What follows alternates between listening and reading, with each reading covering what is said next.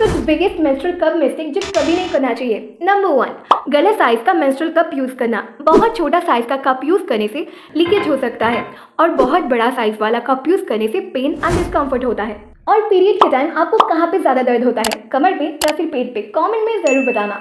Number two cheap quality का menstrual cup कभी use मत करना। क्योंकि ऐसे कप्स चीप क्वालिटी का सिलिकॉन से बनाया जाता है, जो हमारी वर्जाना के लिए बहुत हार्मफुल है। My favourite and most safe menstrual cup है एवर्डिन मेंस्ट्रुअल कप ये बिल्कुल सेफ़ टू यूज़ है। बहुत सॉफ्ट है। स्किन इरिटेशन नहीं होती है। टेन टू ट्वेल्व आवर्स तक लीक प्रोटेक्शन करती है।